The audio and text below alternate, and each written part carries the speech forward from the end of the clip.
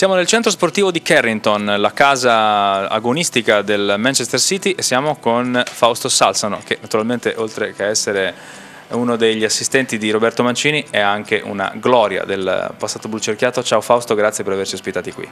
Grazie a voi di essere qua, mi fa molto piacere. Allora, il nostro obiettivo è quello di conoscere meglio eh, i personaggi che hanno fatto grande la nostra Samp, tu sei legato a pagine memorabili della, della, storia blu cerchiata allora proviamo a ripercorrerla un pochino. Sei arrivato alla Samp nell'ormai lontano 1979, ci racconti com'è stato il tuo arrivo in blu cerchiato? Arrivavi da Pistoia se non ricordo male. Esattamente, no, bravissimo. sì, diciamo che sono passati tantissimi anni io ho iniziato il primo anno da ragazzino a, alla Pistoiese, come, come dicevi tu, dove mi ci portò il direttore sportivo Claudio Nassi e feci un anno a Pistoia con i ragazzi, credo con gli allievi. L'anno successivo Claudio Nassi arrivò alla Sandoria e io eh, con lui eh, venni, venni a, alla Samp e da lì è iniziata la mia trafila uh, del settore giovanile con la Sandoria fino poi a quello che tutti sappiamo. Tu peraltro sei di Cava dei Tirreni, no? sei campano e quindi esatto. insomma per te già Pistoia era un posto lontano dalle tue origini. Molto lontano infatti, all'inizio è stata un po' dura però poi sono arrivato a Genova, mi sono sentito a casa, ho vissuto da ragazzino vivevo a Bugliasco per cui ho, ancora oggi ho ottimi ricordi eh, di Genova.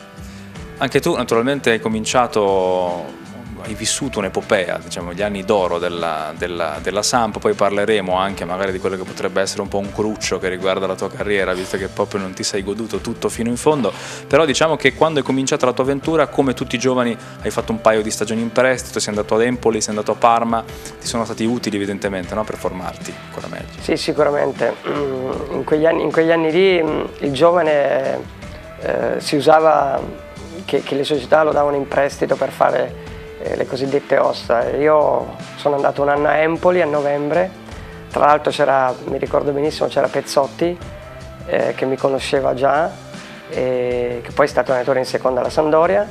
Ho fatto un anno a Empoli da novembre a giugno, ho fatto un ottimo campionato, sono tornato alla Samp e dalla Samp sono andato ancora in prestito due, per due anni a Parma dove poi lì diciamo, è stato un trampolino importante per me perché nel primo anno ho fatto benissimo, il secondo anno abbiamo vinto dalla C alla Serie B e di conseguenza mi sono affermato.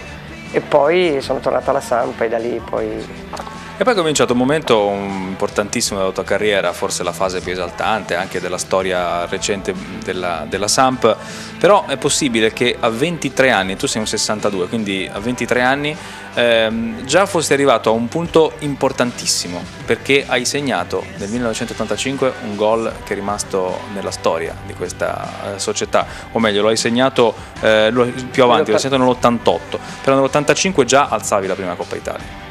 Sì, infatti l'anno che poi ho esordito in, in Serie A con la Sampa, nel, se non ero 84-85, l'anno esatto. del mio esordio. Eh, esatto, sono tornato da, dal Parma, ero giovane perché a 23 anni a, a quell'epoca si era giovane per giocare in Serie A. E tra, tra l'altro ricordo benissimo perché quell'anno venne anche Beccalossi e di conseguenza avevo un compagno difficile però è stato un anno importante per me e quell'anno lì abbiamo vinto poi come tu dicevi ricordavi la Coppa, la Coppa a, a, proposito di compagni di quell'epoca eh, tra i vari ricordi insomma, che ho, ho, raccolto da parte di alcuni tuoi ex compagni o di chi ti ha conosciuto bene in quell'epoca eh, pare che tu fossi uno dei pochi che riusciva a far ridere Brigel c'è anche una foto memorabile in cui tu e Brigel sorridete insieme. No no sì me la ricordo anch'io questa foto no perché poi perché lui era, era grossissimo e altissimo, io ero piccolo e magrissimo, di conseguenza una coppia un po'... però lui era un ragazzo eccezionale, ho avuto un ottimo rapporto io con lui, sì è vero. E Graham Sunes, altro... Beh, Charlie Sunes è stato un altro mio compagno importante e, e tra l'altro vi devo dire che eh, come tu sai eh, ci siamo sentiti varie volte da quando sono qui a Manchester e mi ha fatto molto piacere.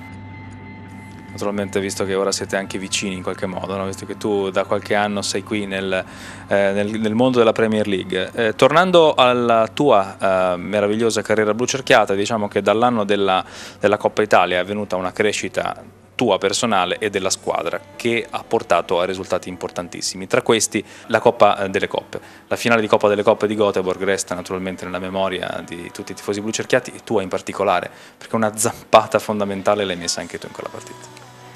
Sì, sì, quello fu per me un ricordo bellissimo perché l'anno precedente a Berna, come voi, come tutti ricordate, a Berna abbiamo perso col Barcellona e poi l'anno dopo ci siamo rifatti a Göteborg dove io poi ero in panchina tra l'altro sono entrato e come ricordavi tu ho, ho, sono stato molto fortunato, è stato bravo Luca Vialli eh, per cui rimarrà sempre un ricordo importante per me. Mi racconti come hai vissuto? Eh, cosa pensavi? È una delle, cose, delle domande che faccio spesso ai, ai, campioni che hanno fatto parte di quella Samp, perché in molti ricordano che nello spogliatoio di Berna eh, dicevate tra di voi quando mai ci ricapiterà l'occasione di arrivare a un'altra finale così e l'averla persa vi, insomma, vi, era molto dispiaciuto. Poi siete tornati in finale eh, a Göteborg e avete vinto la Coppa. Ti immaginavi eh, che questa Samp potesse arrivare fino al tetto del campionato italiano e poi addirittura sul, quasi sul tetto d'Europa? In quell'epoca lì c'erano grandi campioni, per cui la squadra era forte eh, e poi l'ha dimostrato nel cammino. Eh, sì, in effetti quello che dicevi tu, a Berna, a Berna però c'era un'area un po' che non eravamo ancora al top, eh, eravamo un po' titubanti, però poi l'anno successivo eravamo consapevoli di poterla vincere, in effetti poi l'abbiamo vinta a Göteborg eh, è arrivata la maturazione un anno dopo. Prima di quella finale c'è un altro gol importante a cui mi riferivo in precedenza, eh, diciamo, citando male l'anno, eh, quella del 1988, finale di Coppa Italia, si giocava allora sulla, eh, su, sulla distanza delle due partite, all'andata vincemmo noi senza difficoltà 2-0, sembrava fatta, in realtà poi a Torino le cose si misero male, 2-0 per loro, tra l'altro mi pare due autogol nostri, quindi insomma sì. una partita un po' strana, mh, mm, brutto il clima, brutto il tempo di quella serata, Bruttissimo. poi arrivasti tu al numero sì, 112, 112 Fortunatissimo perché in effetti sono anche lì in quella partita era un campo pesantissimo, diluviava, sono entrato e credo dopo pochi minuti, sì in effetti un gol importante, abbiamo vinto con un mio gol una coppa e, e anche questo rimarrà nei miei ricordi. Sì, molto bello parliamo un po' di un aspetto negativo. Per quale maledetta ragione hai deciso di andartene quell'estate prima del, del 90-91? No, diciamo che, che mm, non è che presi quella decisione per andare via, eh, le cose stavano, stavano un erano un po' diverse, nel senso che eh, come tutti sanno Mantovani per noi era, era il papà per tutti e io ricordo benissimo quel, quel giorno che lui mi chiamò e mi disse, mi disse eh, Fausto è arrivato il momento che tu eh, puoi andare in una grande squadra. E io rimasi un po' dove? Alla Roma. E mi disse, io, io gli dissi no presidente non posso andare alla, alla, Roma, io devo rimanere alla Sandoria no mi disse tu devi andare alla, alla Roma perché c'è un presidente come me che ti tratterà bene e ricordati che la porta quando un domani la porta qui sarà sempre aperta per te. E mi convinse perché in effetti la Roma era una grande squadra eh, per cui accettai volentieri. In effetti poi eh, alla scadenza dei tre anni di contatto poi come tutti sappiate sono tornato alla Sampdoria. Quanto fu importante Mantovani nella, nella tua crescita personale, quella Sampdoria, quella famiglia, quell'aria che si respirava? Vabbè, per me è stato importantissimo Mantovani, mi ha, mi ha voluto bene come un figlio, eh, mi ha cresciuto, mi, è, mi, ha, mi ha, consigliato e devo, ne, ne sono fiero veramente. Come ti collocavi in quel gruppo di grandi campioni, non tanto a livello calcistico, per questo lo sappiamo tutti avendoti visto giocare, ma a livello ambientale, nello spogliatoio? Chi eri per lo spogliatoio blu cerchiato? normalissimo, sono come mi conoscete, un ragazzo normale, molto aperto, molto disponibile al dialogo, eh, pochissime volte faccio, eh, come posso dire, sono abbastanza per unire e non per disfare, per cui tra molto tranquillo. E dei compagni di quell'epoca che cosa ti senti di ricordare o di mettere in particolare risalto? Certamente la crescita dei gemelli del gol che tu hai vissuto praticamente tutta per intero, sei quasi coetaneo di entrambi, due sì. anni di differenza sì. sono sicuramente, sicuramente, pochi, la costruzione pezzo dopo pezzo di una squadra che man mano andava rinforzandosi, crescendo, l'esplosione di Pagliuca poi alla fine degli anni Ottanta. No, ma in effetti eh, diciamo che è una squadra che è stata poi pian piano messa pezzo per pezzo, è stata costruita per vincere come ricordavi tu, Vialli, Mancini, lo stesso Vierco, De Mannini, Attilio che lavora qui con me, Lombardo, per cui eh, non vorrei dimenticarne altri. Eh, era un, un, gruppo molto unito, un gruppo che eh, sapeva quello che voleva e, e poi in effetti hanno, sono arrivate anche poi alla famosa partita di Champions per cui eh, ricordo, ho dei ricordi veramente bellissimi. Se ti avessi fatto questa domanda all'epoca mi avresti detto che da professionista ho dovuto giocarla, è normale così, ma oggi vincere quella Coppa Italia contro la Sampdoria, che è il trofeo che hai sollevato con la Roma, eh, che effetto ti ha fatto in quel momento? Forse quasi di essere dalla parte sbagliata. No, in effetti era un po' strano come, come cosa, però poi quando si gioca con una squadra bisogna dare il massimo. Eh, tra l'altro non, non ricordo se io da quella partita ho giocato dall'inizio, credo di no, credo di no in effetti. Però è, è, stato, è stata una, una, una, cosa molto bella, molto bella poi ritrovarsi e giocare contro. Alla Roma eh, tre anni comunque importanti, c'è stata la Coppa Italia, il ritorno con la maglia blu cerchiata, evidentemente era un destino che doveva compiersi no? in qualche modo. Anche la Sampdoria che hai ritrovato dopo era una grande Sampdoria, che forse ha fatto un po' meno di quello che avrebbe potuto fare. Sì, sicuramente ha fatto un po' meno, sono tornato ed ero felicissimo perché il Presidente me l'aveva promesso. E poi, poi diciamo che poi ho smesso praticamente, ho smesso alla Sandoria. Eh, poi c'era stata una parentesi un po' così e così perché speravo poi di, di, di rimanere nella famiglia, non ci sono riuscito, però sono felicissimo. Poi insomma la tua carriera di calciatore è finita nelle serie minori, hai fatto eh, lo Spezia, poi sei andato credo alla Sestrese. Sì, dove, dove, praticamente facevo un po' da giocatore, un po' da allenatore, sì. Poi insomma hai cercato di rimanere in Liguria per un certo periodo perché vedo che poi la tua carriera da allenatore era cominciata con l'Imperia. Esatto. Poi eri andato a Catania a fare allenatore in seconda, il vice di? Di Pietro Vierco. Di Pietro Vierco, quindi insomma. Sì. Poi alla Fiorentina, all'Inter e quindi poi adesso al Manchester City.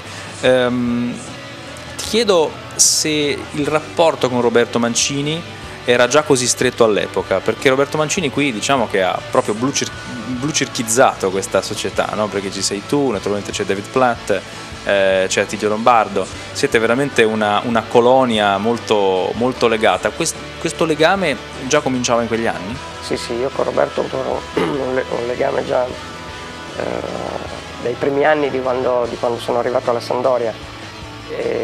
Oltre a giocare ci frequentavamo anche fuori, e diciamo che stavamo quasi, non dico tutti i giorni insieme, ma quasi, di conseguenza questo rapporto poi si è cementato, è diventato forte. Quindi insomma, poi ha portato anche questo legame professionale che ora vi unisce qui. Esatto, sì, sì, sì questo mi fa molto piacere. Ho letto una tua intervista in cui recentemente hai detto mi rivedo in Foggia e Cassano. Eh, sono giocatori qui, insomma, che ti ricordano un po' le tue prestazioni? Sì, il modo di giocare più o meno sì, eh, Foggia un po' di più, Cassano un po' meno perché è un po' più attaccante, però ha un talento, sono due grandi, due grandi giocatori, due campioni, non li scopro certo io. Foggia peraltro che ha accettato no, la Serie B per giocare nella Samp. No, sì, è un giocatore, un giocatore di talento, un giocatore che eh, ha accettato di venire alla Samp perché la Samp è una grande squadra. Parliamo di rapporti umani, eh, un calciatore è per eccellenza un giramondo, uno che vede tante piazze, sono tu sei nato in Campania, poi la Toscana, la Liguria, la capitale italiana l'estero. Qual è casa per te? Ma per me è difficile, io in questo momento diciamo che la mia vita mm, era, era programmata di vivere, di vivere a Genova, poi per motivi di questo lavoro ho dovuto fare un'altra scelta e tornare nella città di mia moglie che è Parma, però direi che la mia città la mia seconda città è Genova perché io tutti gli amici ce li ho a Genova, quando posso vengo a Genova, di conseguenza ho vissuto vent'anni a Genova. Hai ancora frequentazioni? Esatto, ho tanti amici, no no, sicuramente. Se dovessi consigliare un ristorante, visto che voi... Vabbè, i famosi che tutti conoscono, noi andavamo da, da Carmine a Piedigrotta, alla Ruota a Nervi, di conseguenza sono i soliti. E sei rimasto fedele anche, anche dopo la carriera di calciatore? Se, to se, torni, torni lì a mangiare? Sì, sì, sicuramente, sicuramente. ma ci sentiamo ancora con queste persone. Quindi avete ancora un rapporto, rapporto che, sì. che, si porta avanti negli anni, così come magari con la famiglia Mantovani, esatto, no? ancora... io mi sento con la Francesca. Che è rimasta, è rimasta tua buona amica. Sì. E invece l'Inghilterra? Ma l'Inghilterra è un'esperienza un importante che, che, sicuramente mi farà crescere e che sono felice di, di essere qua e, e soprattutto speriamo poi in futuro di, di, di, ottenere dei risultati importanti come abbiamo fatto all'Inter. Qual è il tuo sogno? Quello di allenare una squadra tutta per te? Ma qui è un discorso un po' lungo perché io credo che non, chi fa questo mestiere che faccio io dentro deve avere questa cosa di poter poi un giorno allenare, di voler allenare da solo. Eh, però poi ci sono tanti motivi perché uno poi no, non intraprende questa strada. Io eh, posso dire che sono al top perché lavorando con Roberto sono al top, Roberto viaggia al massimo, per cui di conseguenza sono felice eh, di, di essere qua e di continuare a stare eh, con lui. Per me è importante il lavoro, la famiglia, io ho la mia famiglia che vive qui con me e di conseguenza per me è il massimo. Quindi tu hai fatto la scelta di portare la tua famiglia sì, con te? Esatto. Sì. Sono contenti, sono ambientati Mol, bene? Moltissimo, stanno bene, eh, si trovano benissimo, no, no, sono felicissimo. In chiusura della nostra intervista, e ti ringrazio per la tua disponibilità, ancora qualche accenno insomma, sui tuoi eh, trascorsi blu cerchiati, eh, qual è l'allenatore più importante? Naturalmente immagino che hai avuto tanti allenatori, uno ad esempio Bersellini addirittura dice recentemente eh, è stato il mio prodotto. Sì è vero perché Bersellini mi ha portato lui alla Samp ehm, nell'84 e mi ha fatto giocare, lui mi ha voluto a tutti i costi, quello è vero, sì, posso dirlo perché eh, lo ricordo benissimo perché io ero, ero, a Parma, un giorno mi incontrai con, con Pezzotti e mi disse l'anno prossimo tu torni alla Sampa. E io gli dissi va bene, torno alla Sampa. Sì, è vero, è stato uno, un suo prodotto, cioè lui credeva in me. Poi però non posso dimenticare Bosco perché per me è stato un grande uomo e, e, lo stesso Sven Eriksson. E se dovessi ispirarti a qualcuno di loro per la tua carriera di allenatore, quale sarebbe il tuo modello? Ecco Bosco, Bosco perché eh, sdrammatizzava molto. Sì. È vero che sei un mediatore tu? Sì, io faccio, cerco, cerco di fare questo, sì. Diciamo che quando Roberto usa il bastone io uso la carota. Eh, sì, è importante. Forse è per questo che Roberto ti vuole sempre con sé, no? Perché... no sì, sì, no, al di là di questo, ma ci vuole, ci vuole anche questo a questi livelli. Indubbiamente. Bene Fausto, io ti faccio un bocca al lupo naturalmente per il tuo futuro, eh, ti lascio una conclusione perché i tifosi blu cerchiati eh, non vedono l'ora di rivedere mh, alcuni personaggi in particolare, quelli a cui sono più legati perché sono legati al momento migliore della nostra storia. E allora per salutarli lasciate lo spazio. Ma no, sicuramente un abbraccio forte a tutti i sandoriani e a tutti quelli che mi conoscono. Grazie Fausto. Grazie a voi.